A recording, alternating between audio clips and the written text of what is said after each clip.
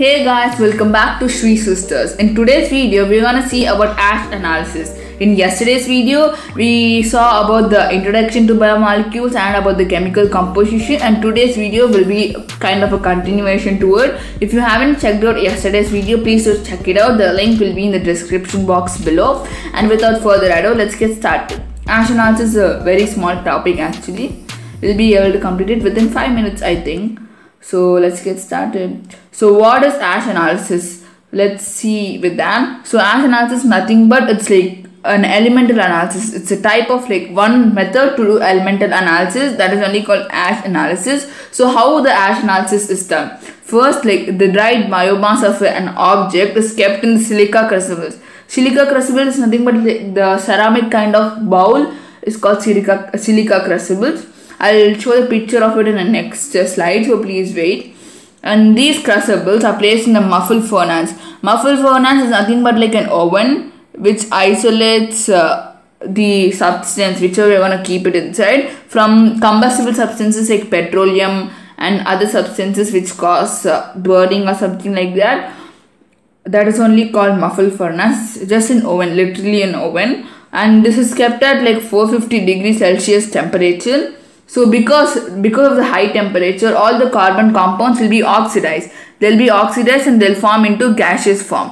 Gaseous form in the sense they'll form CO or water vapor and are removed. Like we are literally removing the biomolecule part of it because in the last video we saw that biomolecules are the carbon compounds present inside the body. So they are all removed and we can say that the remaining part is the ash like it doesn't contain like biomolecules that's what it means so the, this ash is the remaining part and it contains a calcium and magnesium, the general ash thing.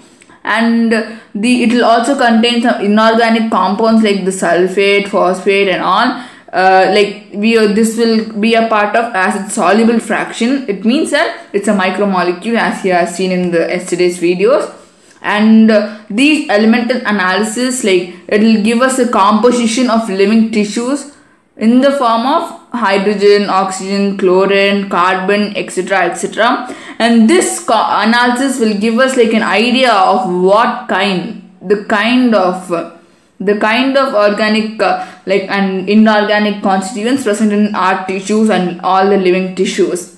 Like in the chemistry point of view, if you see, we can see like there are aldehydes, ketones, compounds, and other blah blah stuff. But if you see from the biological point of view, we will call them as the amino acids, nucleotide bases and fatty acids. These are what we call them from the botany and biology point of view. That's all is about the ash analysis. It's nothing but uh, like an elemental analysis of the living uh, tissue. That's what is ash analysis. And the process is the dried biomass is kept in silica crucibles and these crucibles are kept in a muffle furnace which is nothing but an oven which isolates from burning substances at 450 degrees and all compounds are becoming like all carbon compounds will get converted to gas form and they will be removed. The biomolecule part of it will be removed and the remaining part is called ash and they will contain organic and inorganic components and this will give us a composition of living tissue. That's what is about ash analysis guys.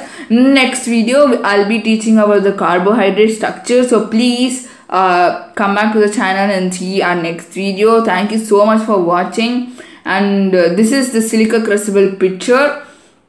The this is what a silica crucible which will be placed in the muffle furnace which is nothing but the oven at 450 degrees. And thank you so much for wa watching guys. And in the next video we'll be seeing about carbohydrate structures and types of carbohydrates. Please do like share and subscribe to the channel. Thank you so much guys. See you in the next video. Bye